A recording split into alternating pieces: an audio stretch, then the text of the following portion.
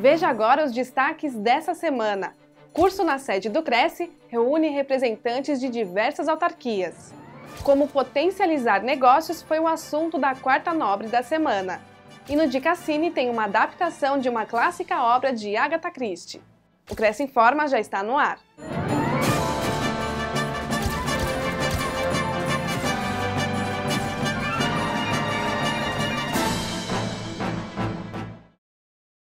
Conselhão organiza curso na sede do Cresce.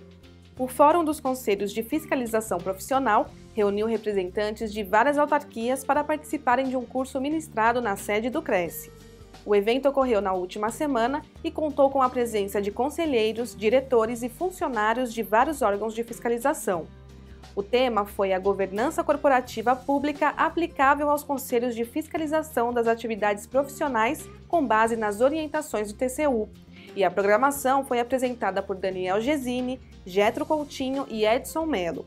Todos têm larga experiência em questões que envolvam auditoria e gestão pública. Os conselhos profissionais eles têm uma função muito relevante de prover segurança para a sociedade no exercício das atividades profissionais. Então, quando o conselho atua bem, tanto a sociedade, por exemplo, a gente está aqui no Cresce, né, tem mais segurança de que a atividade ah, de, de corretagem vai ser exercida de forma ética, de forma é, com toda a lisura e com toda, com toda a eficiência necessária, quanto os profissionais vão ter a segurança de que estão também protegidos agindo com segurança contra outros profissionais que podem atuar sem ética. Então, essa, essa, esse papel fiscalizatório dos conselhos é essencial para que o mercado funcione de forma mais suave. O importante é que o debate começou, né? Então, o, o debate por melhores serviços, por redução de custos, por uh, acrescentar valor à sociedade começou e acreditamos que o caminho para os conselhos é muito próximo.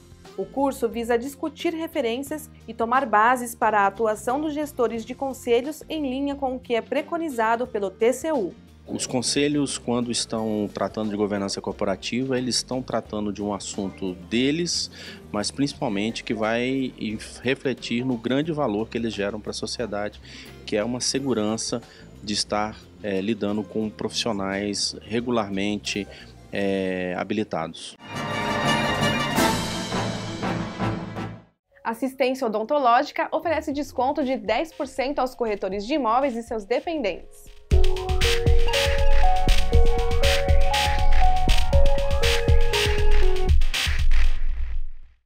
O cuidado com os dentes não é somente uma questão de higiene, mas também cuidar do seu cartão de visita, o sorriso.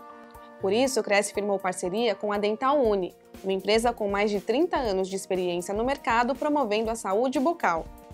A Dental Uni possui dentistas credenciados em mais de 700 municípios e mais de 600 mil beneficiários em todo o país. Os planos oferecidos são os individuais, familiares, empresariais e corporativos. O desconto disponibilizado aos corretores de imóveis, pessoas físicas ou jurídicas e seus dependentes é de 10% sobre o preço dos serviços de assistência odontológica referente à tabela de preços vigente da empresa. Para mais detalhes sobre o benefício, acesse o site crescsp.gov.br barra corretor barra convênios e entre na categoria Saúde. A Dental Uni fica na rua Funchal, número 513, no conjunto 32. Mais informações pelo telefone 11 4550 2501 ou acesse o site dentaluni.com.br. Os convênios não possuem vínculo financeiro e comercial com o Conselho e podem sofrer alterações a qualquer momento. Acesse o site do Cresce para verificar as atualizações do convênio ou se o mesmo ainda está vigente.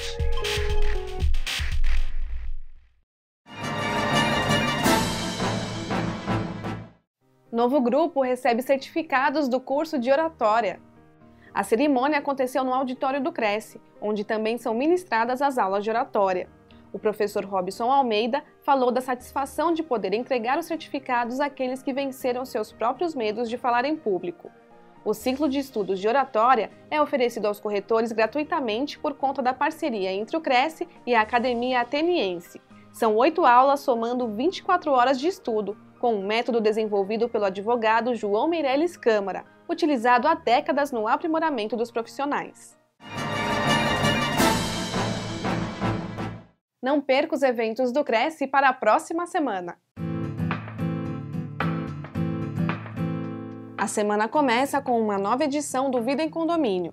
O programa começa às 10 horas da manhã na TV Cresce e o tema será Auditoria. Às 11 horas e às 15 horas haverá sessões plenárias de compromisso público na Unip. Os eventos serão transmitidos ao vivo pela TV Cresce. Ainda no dia 13, o presidente do Conselho, José Augusto Viana Neto, estará na Associação Comercial e Industrial de São Bernardo do Campo para falar sobre o futuro da profissão do corretor de imóveis, a partir das 18 horas e 30 minutos. Sexta-feira, dia 17, tem Cresce Esclarece às 10 horas da manhã. Assista ao vivo pela TV Cresce e participe através do chat.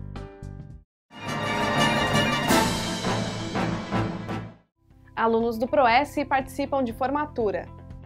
O grupo de corretores que acompanhou o curso PROES em todo o estado recebeu seus certificados de conclusão na última semana.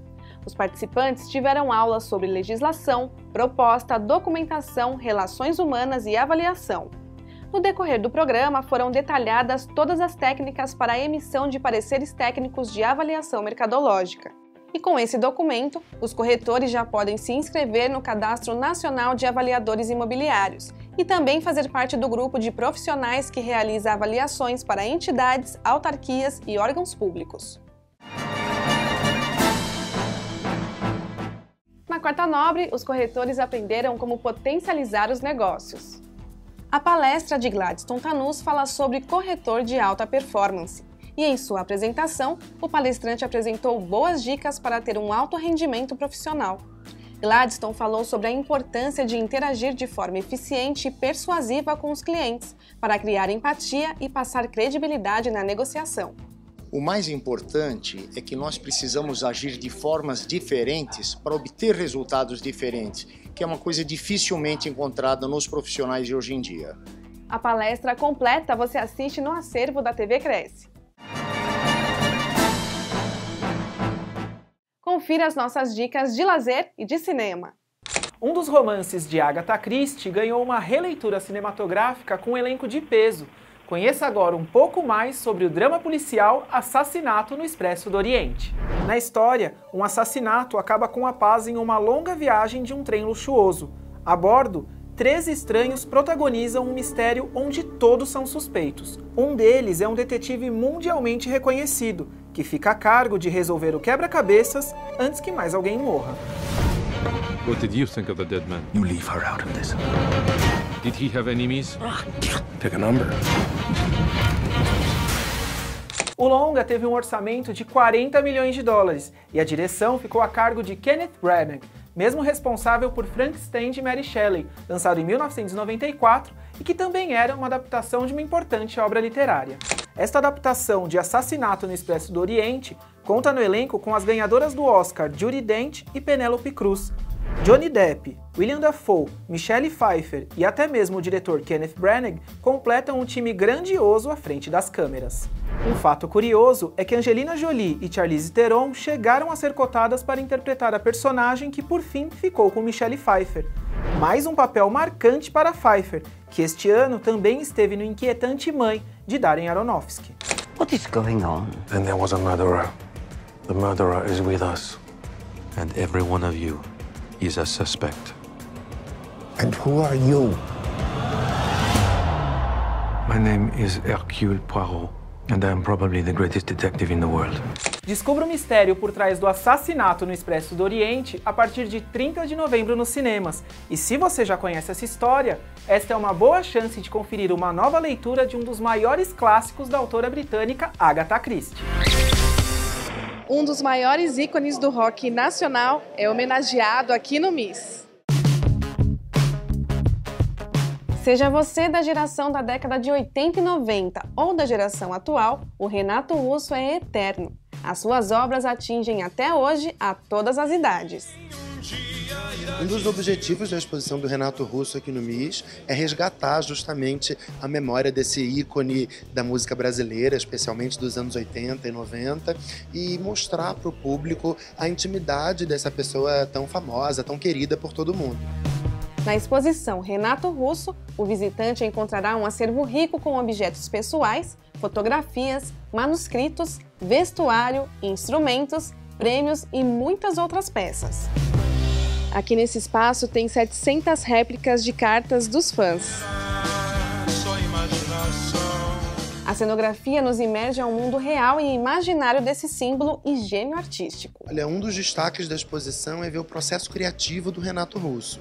Então aqui nós temos diversas letras de música escritas por ele, diversos estudos sobre o que viria a se tornar uma letra de música. Então para o fã isso é fenomenal, principalmente se você conhece a música, vê como foi o processo criativo, que, que palavras ele desistiu de usar e trocou por quais.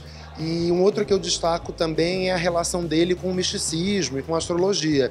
Algumas pessoas acham que isso era uma lenda, mas isso era bem real. Ele realmente gostava muito desse aspecto é, é, de estudo e tinha uma coleção de baralhos de tarô, jogava cartas para os amigos e tudo isso está aqui na exposição.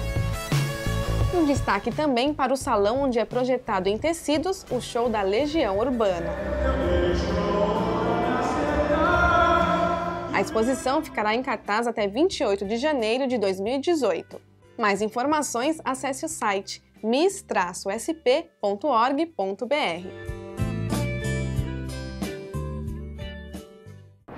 Envie seus comentários e sugestões para a TV Cresce. Nosso e-mail é tv@crescsp.gov.br. Fique por dentro das nossas redes sociais. Siga arroba TV Cresce.